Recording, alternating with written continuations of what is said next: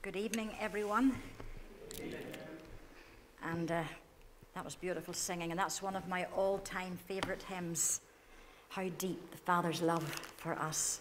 One of those hymns that's packed with truth from beginning to end. Sometimes you get some things today and there's not a lot to them, but I tell you, that's the gospel from beginning to end.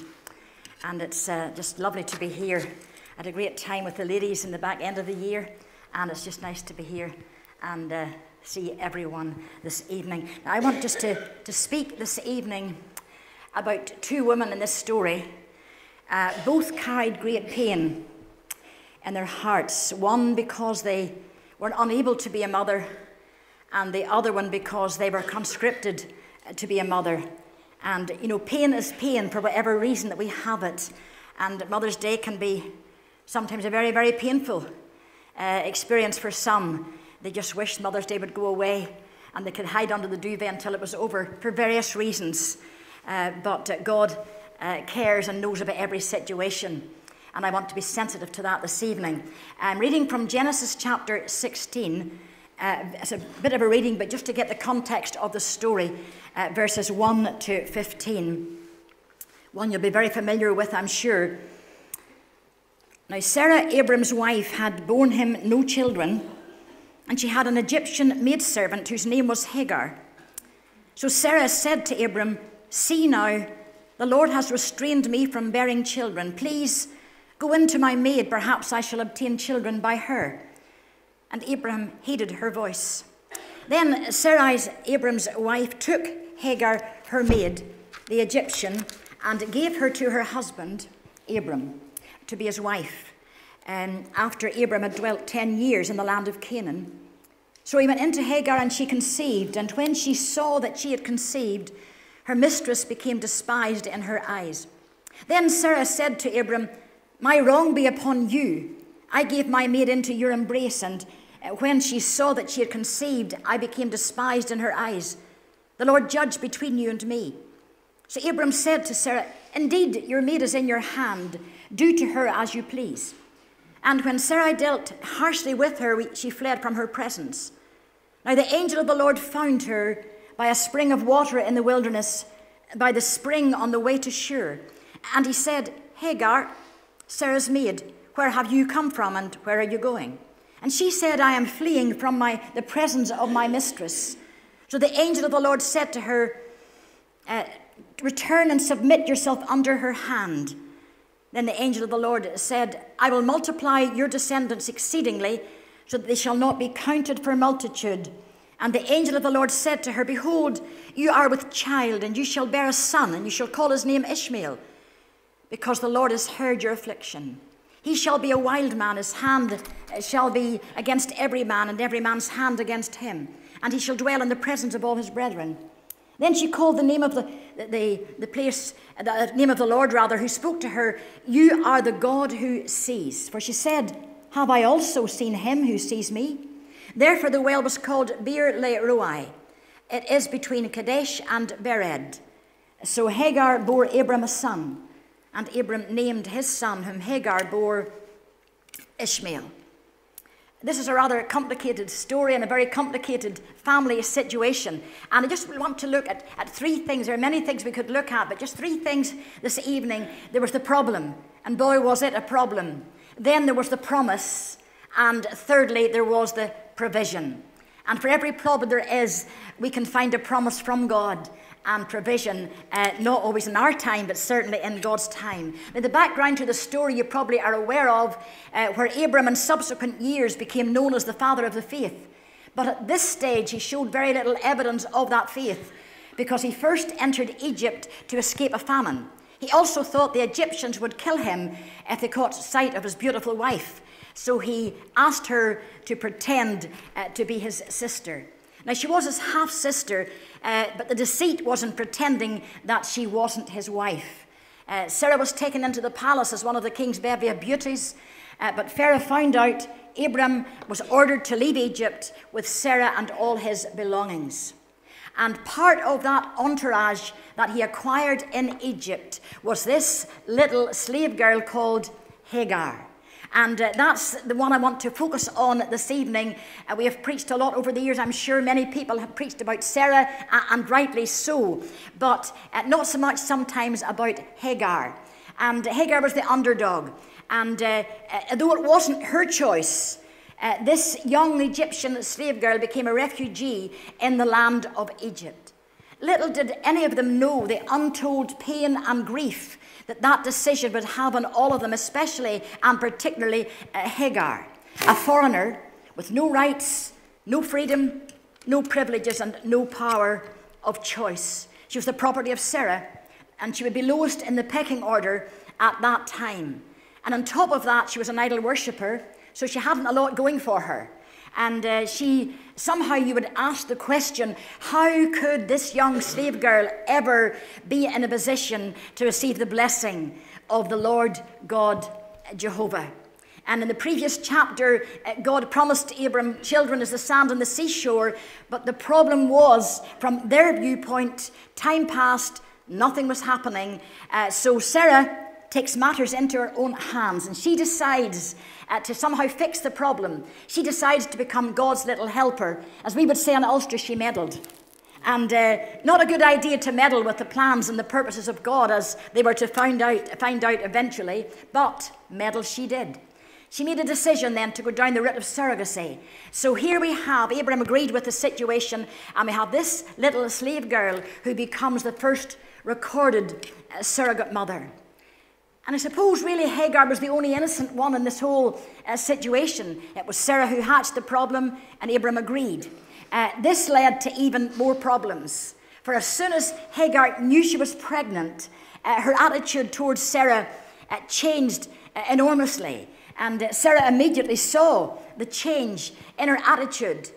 And sometimes I have tried to get in under Hagar's skin uh, to somehow realize why she changed, or why the situation was. See, none of them are really squeaky clean in this whole story. And that's what I love about the Bible. It gives it to us warts and all. We all make mistakes. We've all made mistakes. But there's a God when we come in true repentance who can change those mistakes and turn them uh, into good. Uh, so Hagar really uh, began to change in her situation. And probably uh, now, she would be just in her early to mid teens because they had children very young in those days, especially the slaves.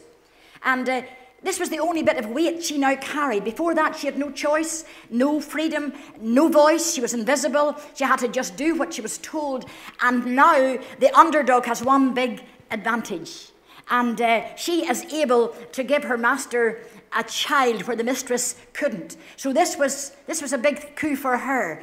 And uh, I suppose uh, uh, human nature being what it is, she couldn't help but show it.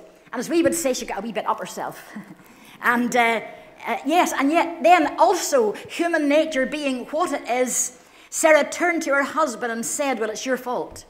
And all the men in the congregation are saying in, under their breath, Nothing's changed then. And you see, this was her suggestion. Uh, but Abram's answer uh, was this It's your problem. I'm just paraphrasing now. It's your problem, so you sort it. You deal with it. I'm wiping my hands of the situation. And all the women in the church are now saying under their breath, nothing has changed uh, since then. but anyhow, joking aside, uh, the situation was quite dire. Uh, the law forbids Sarah to sell her under these circumstances. You could not sell slaves if they were pregnant by uh, the, the household that they were in. So the only thing that Sarah could do was to make her life a misery, and that she most certainly did. And uh, Hagar was trapped because she didn't complain, because you see, she had no rights, she had no voice, she had no choice. Uh, so uh, uh she felt trapped. Probably, and I'm thinking as, as a mum uh, here, probably coping with pregnancy sickness. Uh, at the time, and also probably coping with a broken heart because, so far as she knew, this baby growing inside her would never really be hers. That's all they knew at that time.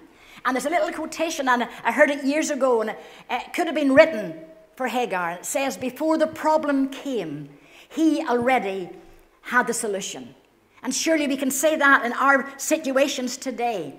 Uh, verse 7 tells us that the angel of the Lord, and I love this verse, the angel of the Lord found her by a spring of water in the wilderness. The angel of the Lord found her. Isn't it good to be found by God when we're going through situations and somehow we're trapped and there seems to be no way out and we're in a catch 22? And isn't it nice to know that there is a, God who wants to find us right where we are in our wilderness, in our pain, in our unanswered prayer situations? And that word there in the Hebrew for the angel of the Lord is Malach Yahweh, which means Christ in pre incarnate form. So uh, here he is.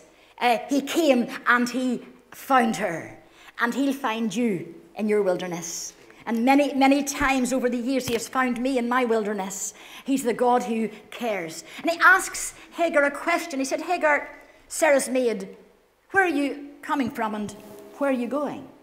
And you see, he already knew, he, he said her name and he knew she was Sarah's maid. Uh, so he didn't ask the question because he needed the information, but because he needed Hagar to tell him. That was the important thing. He was leading Hagar to the place of honesty. Uh, he wanted her to be honest with him. And I thought, uh, whenever he asked that question, boy, could she have given him some answer. She could have said, Well, it's like this, sir. I have been forced away from my homeland against my will.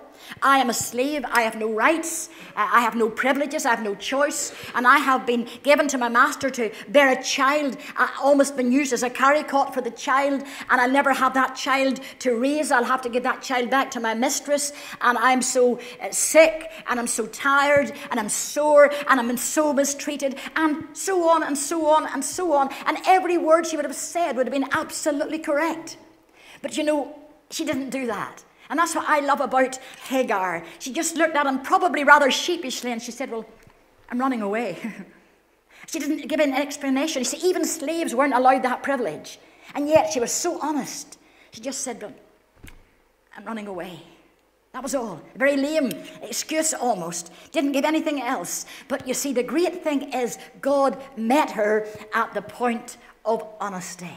And God will meet you there, He'll meet me there. We come and we're just honest with God. In verse 9, He said to her, Return to your mistress and submit yourself under her hand. Well, I am sure that that was the last thing she wanted to hear.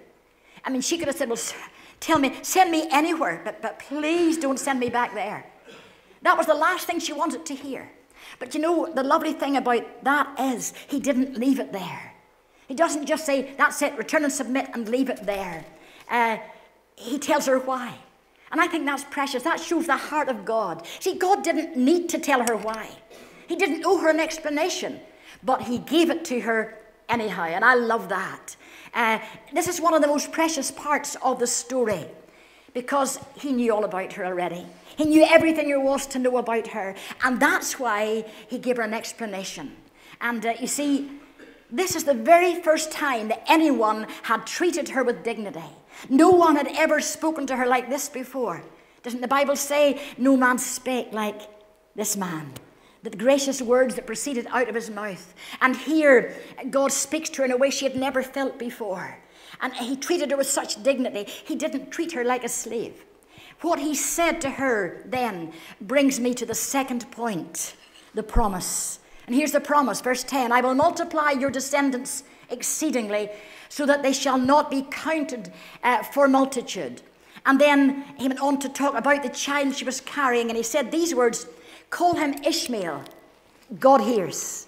He told the slave what to call the child. The men, the fathers, uh, always named the children. And somehow it wasn't even Sarah he came to, it was the slave, and he said, Call him Ishmael, for God hears. And when she heard those words, I'm sure, like a stream of water in the desert, uh, these words would penetrate the wilderness of her heart. Oh, how she needed those words of love.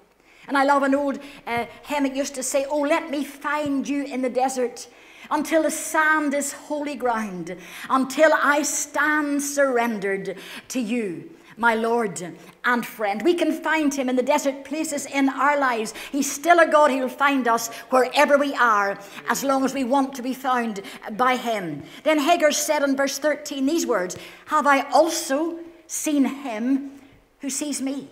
You see, she had allowed herself to be transparent and vulnerable before him. And in so doing, she had a revelation of God that was simply amazing.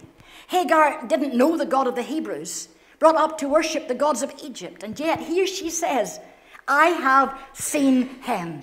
Isn't that wonderful? Maybe you're here this evening. Maybe you're here because someone invited you here and you have never had an encounter face to face with the God of Abraham, Isaac, and Jacob, the Lord God at Jehovah. But you can go out this evening saying, But I have seen him.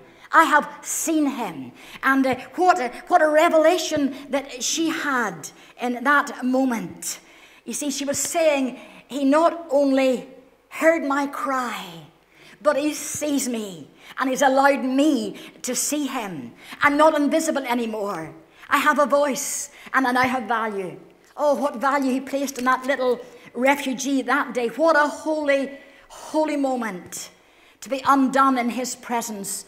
You see, there's no one uh, that has no value to God. God wants to take even those who feel of no value and give them value with His love and wrap His arms around them. And that moment, she was just totally undone in His presence. She said, Have I seen Him who, who sees me? She didn't just mean He sees me standing there. She knew He could penetrate into the very inner parts of her being. So she didn't need to give a whole catalogue of stuff that happened to her. He, she realized He knows it all.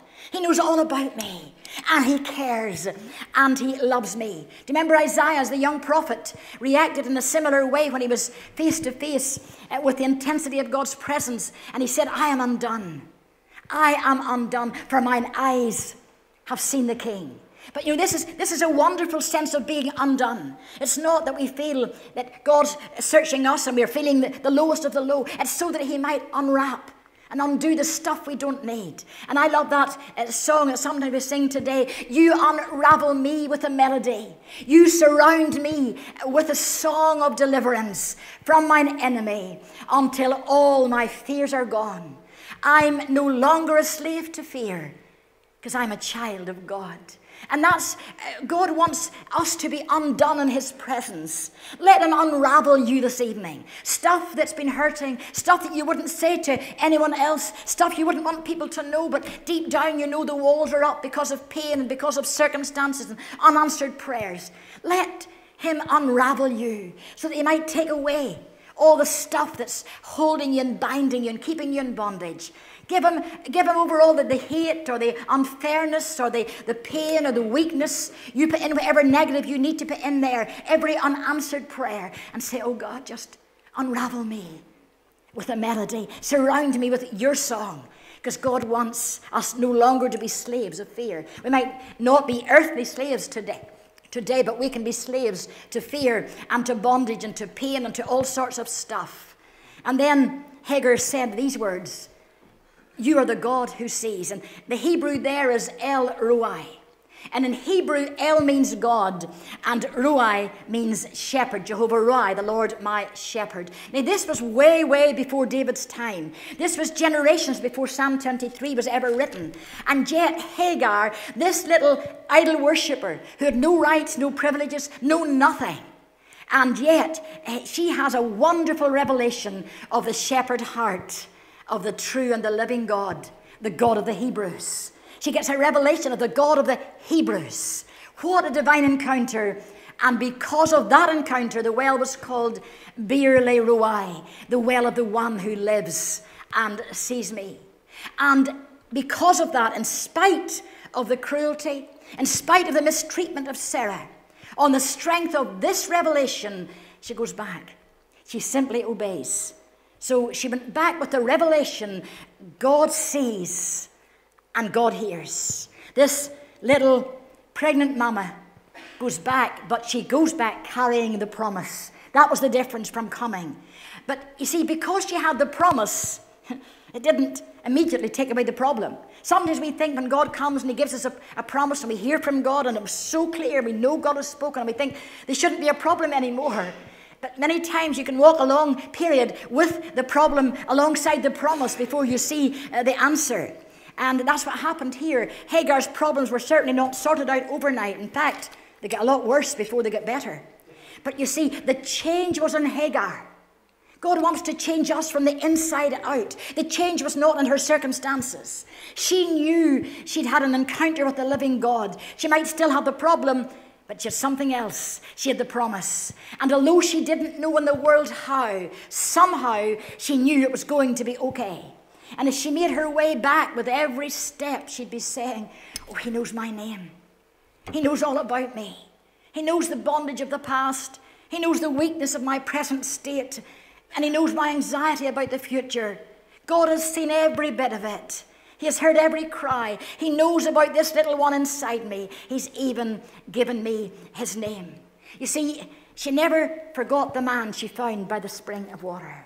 Let's never forget the man that we found the day we found that living water. Let's never forget that man. Even when things seem to go the other way and it seems like, does God really care? Is he in my situation at all? Let's never forget the man by the spring. And every time in the days to come when she would um, be speaking his name, Ishmael, every time she was actually saying, God hears. God had a reason for giving her that name. And then in verse 15, the time came when the child is, was born. And then, for over 14 years, she watches someone else raise her son. And I believe the only thing that would have kept Hagar during those years uh, was the man at the spring.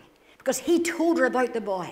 He told her about the promise that this boy would have. He told her that he uh, knew all about this boy. And somehow that's what she would hold on to. She would watch him, just a slave, watching him from afar, watching somebody else being his mum, and somebody else making all the decisions.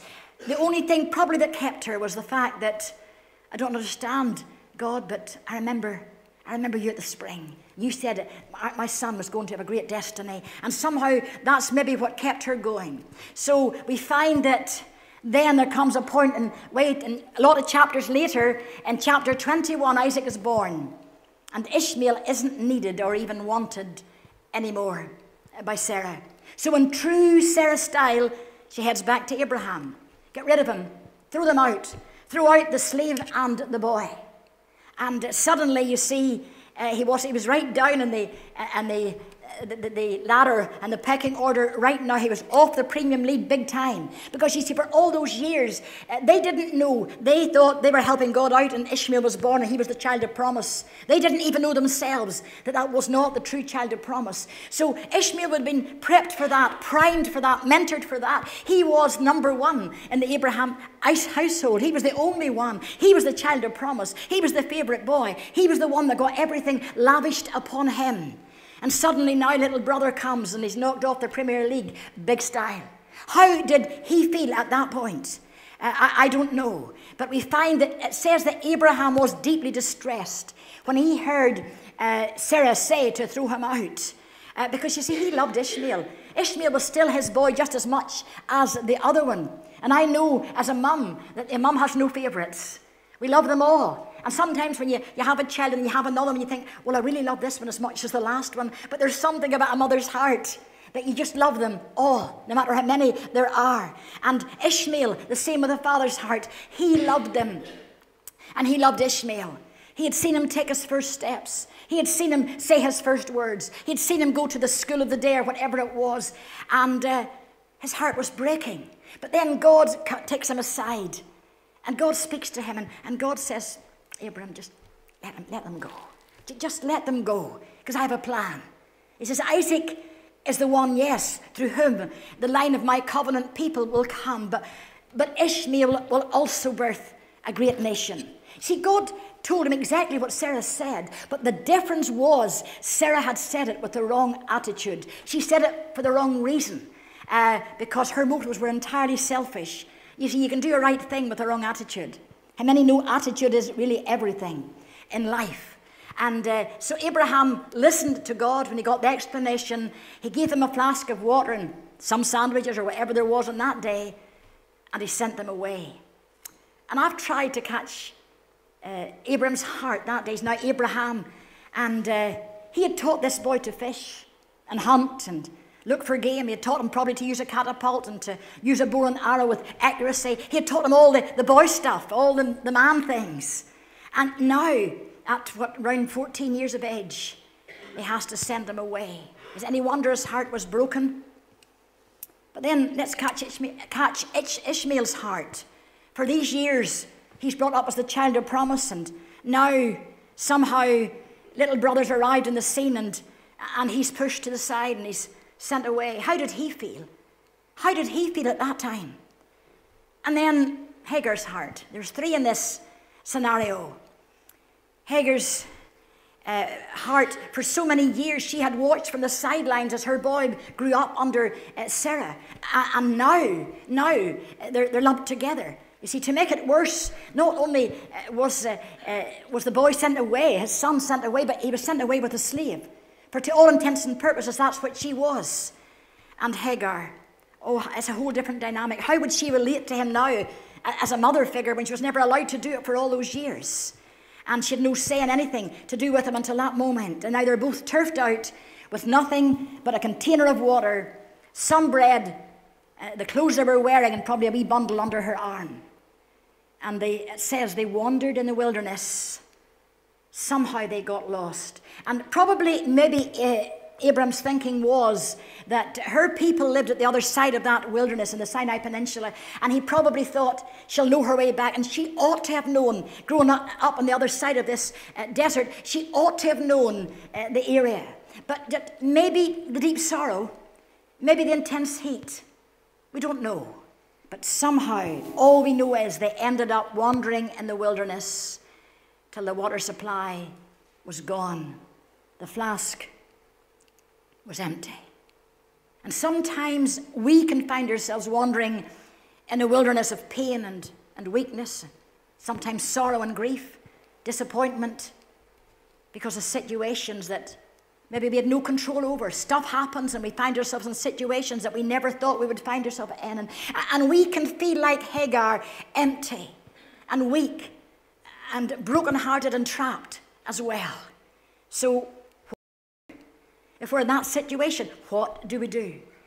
Well, we'd probably do what Hagar did. You see, she just laid him under a little bush, probably to shield him from the heat of the sun. And we come then to the saddest, most heart-rending part of the story. Verse 16 of chapter 21 says this She went and sat down across from him about the bowshot. For she said to herself, Let me not see the death of the boy. So she sat opposite him, lifted up her voice, and wept. That's probably the understatement of the year. Oh, I bet she did. I bet she wept. And wouldn't you weep? wouldn't we weep if we were in that situation? You see, there was just so much this little mama did not understand. So many questions inside her. And I'm sure she was thinking at that point as she sat away, not wanting to see his last breath. And I'm sure as she sat there, she was thinking, well, what about the man at the spring now? What, what about the promise? What about all the things that, that he told me? You see, we can be like that sometimes when God gives us a promise and we stand on that promise and, and stuff goes the opposite. And it's like, will it ever happen? And we can, we can go back and think, well, God, what about the promise? What about the situation? What about the stuff? I remember God giving us a promise about our son who had backslidden. The two girls always went on with God. The boy had backslidden very, very badly at 17. The middle one, David. And uh, somehow uh, it was like, what about the promises we got for him? What about the promises? One year went into another, to another, to another, and it just wasn't happening. What about the promise? It's so easy, so easy to think God has forgotten about us.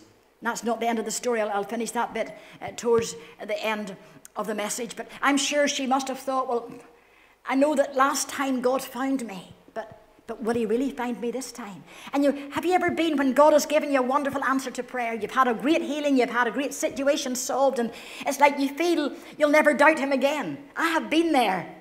But then, until the next time. But you see, I found that God never, the situations never are quite the same two times running. The problem's just that bit different. The dynamic's that bit different. And we think, well, I know God did it then, but will he really do it now? I think if we're honest, there's that little doubt can come into our, our hearts. Well, you, you came up then with the answer, Lord, but will you, this time's different. Will you really do it now? And I'm sure she must have thought that. Every time Hagar and everyone else had spoken his name over those years, they were saying, God hears. God hears, God hears, God hears, speaking prophetically over his life, though they didn't know it. They were speaking destiny over him. It didn't look like destiny. Certainly didn't look like destiny now because the dearest, most precious thing in the, the whole world lay dying beneath that little bush. See, there's nothing more important to a mother than her child. Nothing. Absolutely nothing. And here she is. But you see, it's not over till God says it's over. See, God had told her all those years ago call him God hears. Call him God hears. And now in verse 17, we read this God heard the voice of the lad. From birth, Ishmael had the ear of God. And here, when he needed it uh, most, God said, Fear not, Hagar, for God has heard the voice of the lad. Not just Hagar's voice. God has heard the voice of the lad where he is. And probably by that time it was just a little whimper barely recognizable, but God's ear was tuned to hear it. And whatever your situation is tonight, and maybe sometimes the pain's so much you feel, I, I don't know, where I can even voice all that's going on inside me, but God hears the sigh. He hears the whisper. That's the important thing. And I remember reading that some years ago, quite a few years ago, uh, when our son was backtracking around the world and he'd not long backslidden, he was maybe 18, 19, and he was shaking off the restraints of, a, of church and a godly home and didn't want anything to do with it. And he was heading round and it seemed like the world was his oyster. And there's times I didn't even know where he was and what country he was in. And I remember one particular time my heart was heavy. And I read this when he said, Fear not, for God has heard the voice of the lad where he is. And God spoke into my spirit, and I said, Oh God, I don't even know where my boy is tonight. I don't even know where he is today. And I just heard God say in my voice, in my spirit, I hear the voice of your lad where he is. God was saying, You don't know where he is, but I know where he is.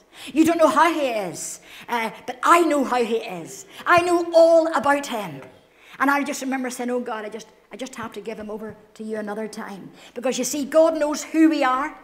He knows where we are and He knows how we are at any given moment.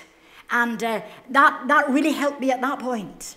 And, uh, you know, that was 26 years uh, from David went away from the Lord until last year. Uh, he came back. I was telling the ladies that at the conference that after 26 years, he came back to God in 2016. Now, I had no idea when he walked away uh, that it would be 26 years before he would be back. And many, many times when I would be speaking, and especially at Mother's Day services, I used to say, Oh God, the greatest Mother's Day gift you could give me today would be my boy back to you. But another year passed and nothing was happening. And another year passed and nothing was happening. And I remember one particular year I was preaching for Edwin in, in Portadown at a Mother's Day evening service. And I, that day, that particular date, it turned out it was David's birthday, the 30th of March. It just happened to, the only time I think it ever fell on his birthday, and he was 30. It was a landmark birthday. And I'm thinking this is maybe a sign. You know, mothers will clutch at straws, won't we? And I thought, this is a sign. God, you're going to give me my boy today. I'm asking you, Father, the only Mother's Day present I want is my boy back into the kingdom.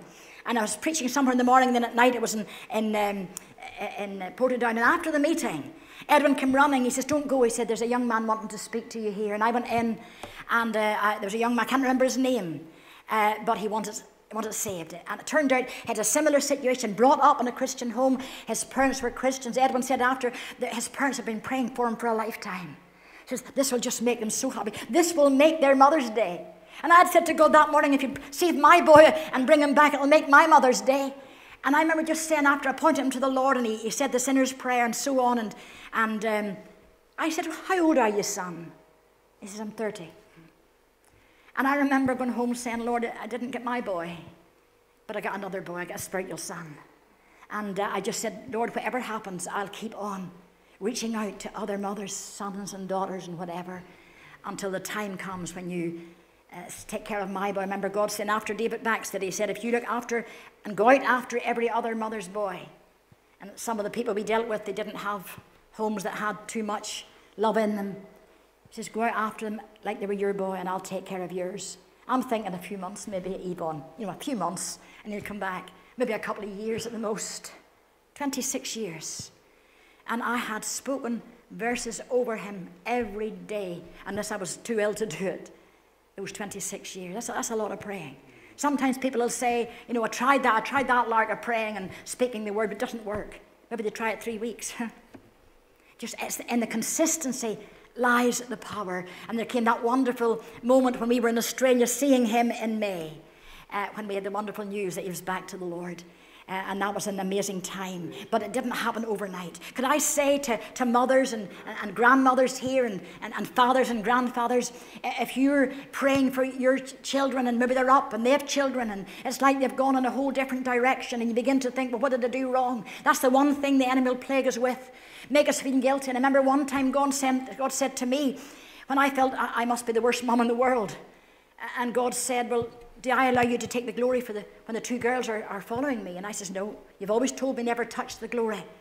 But said, Neither do I allow you to take the guilt uh, when they go the other way. And he said, David had the very same upbringing as the two girls.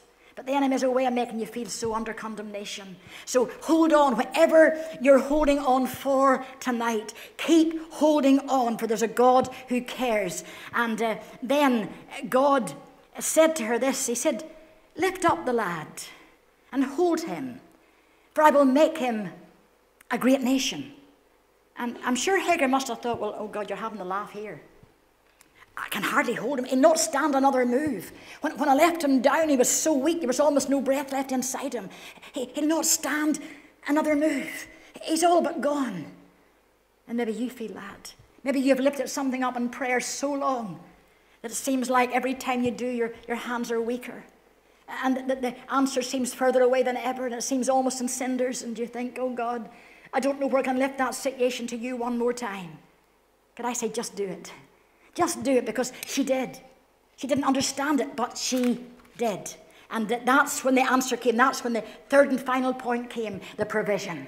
It says in, in verse 18 Then God opened her eyes and she saw a well of water. When was then? After she had lifted that little boy who was a mess almost gone, and lifted him up. And the minute she did that, she saw God showed her the well of water. Ask God to open your eyes to what He wants to do in your situation. See, in the wilderness of Beersheba, fountains were almost unknown and wells were rare. Often, those who really knew the territory uh, could only, that's the only ones could find them. Uh, for the policy of wandering nomadic tribes was to conceal watering places from strangers so that they were protected. So that's why Hagar couldn't find it. And sometimes, spiritually, in our lives, pain has a way of somehow covering over God's watering places. We need to let Him open our eyes so we can drink from His supernatural supply. And if you're here tonight and there's something you've prayed for and prayed for and it looks like it's further away from ever happening, say, Oh God, just, just open my eyes. Let me see once more the riches of what you have for this situation. And I love that old hymn again fill my cup, Lord. I lift it up, Lord. Come and quench this thirsting of my soul. Bread of heaven, feed me till I want no more. Fill my cup.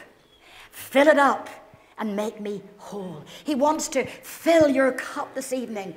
And it doesn't mean necessarily you'll get the answer right away. Sometimes you walk a long time before you get the answer. But just, it might only be a groan. But even if it's just a groan, let him have that groan. I remember when Lisa, our youngest girl, was born and she was so deformed and it was just, it was something we didn't bargain for. And I couldn't even pray. I couldn't get words to somehow express the pain that was inside me.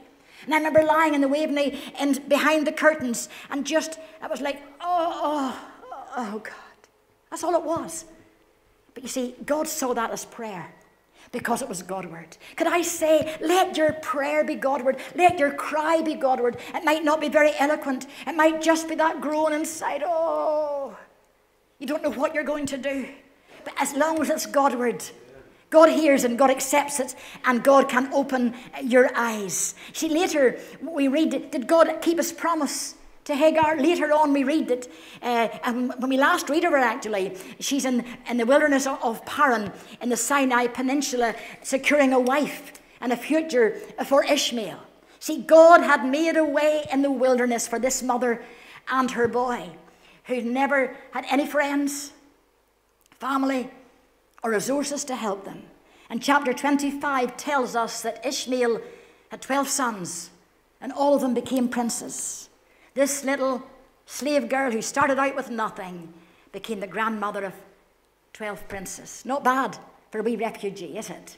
You see, as I said before, it's not over till God says it's over. Let's just bow in a moment of prayer and then I hand over to. Um, to Greta. Father, I just thank you for your presence this evening. Thank you for that wonderful worship, these wonderful age old hymns we've been singing that are old yet ever new. And I ask tonight, Lord, that each one of us, whatever our need might be, as mothers, as grandmothers, as, as grandfathers, as brothers or sisters or sons or daughters, whatever the need is, and maybe we've brought it to you so many times, we just feel we can hardly lift it another time. It would fall uh, through our fingers. Maybe lift it one more time and lift it up before the only one who can open our eyes and let us see that it's not over until God says it's over. In Jesus' precious name. Amen. God bless you.